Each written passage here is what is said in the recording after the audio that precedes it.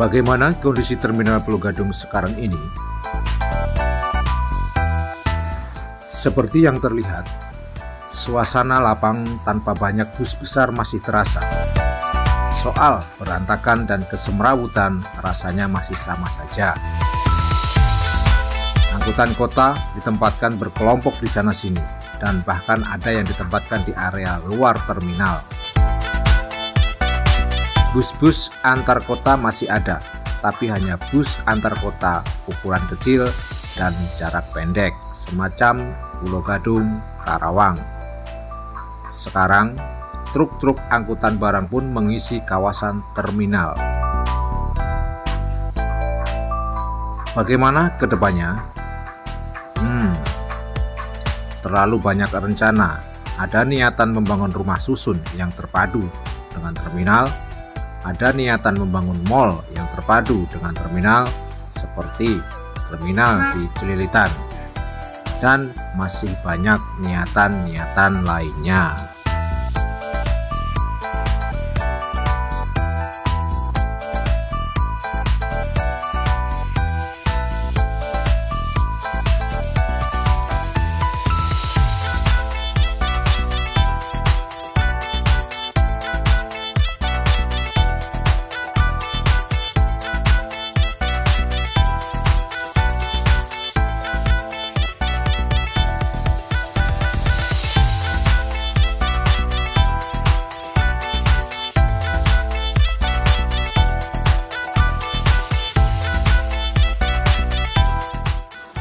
Terminal Pulau Gadung dibangun pada awal 1970-an. Terminal ini resmi beroperasi mulai 14 Mei 1976 sebagai terminal bus dalam kota, bus antar kota, dan pool bus antar kota. Terminal Pulau Gadung dulunya dibangun di atas lahan seluas 35.196 meter persegi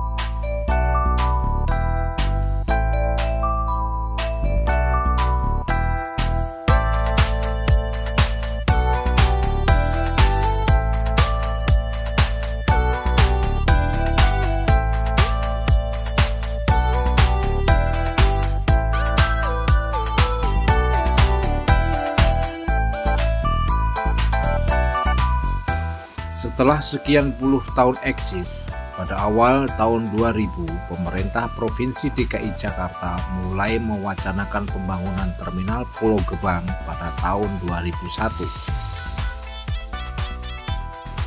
Pada Januari 2017, Terminal Pulau Gadung resmi turun kelas.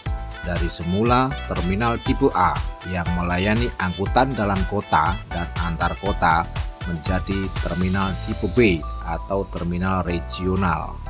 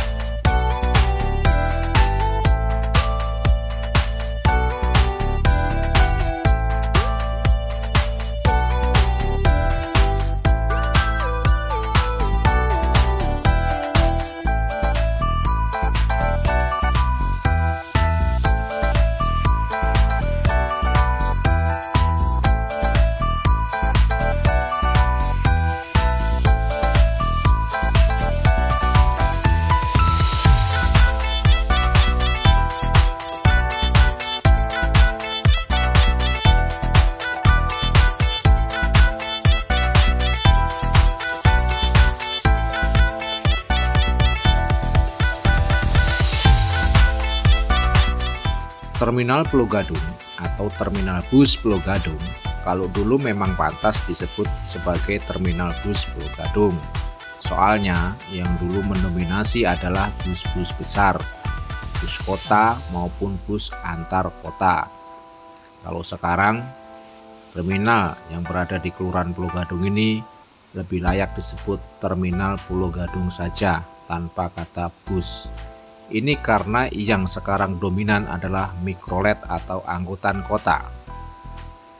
Adapun jumlah bus bisa dihitung dengan jari karena kebanyakan berupa bus Transjakarta yang keluar masuk terminal secara berjadwal sehingga tak membuat padatnya terminal.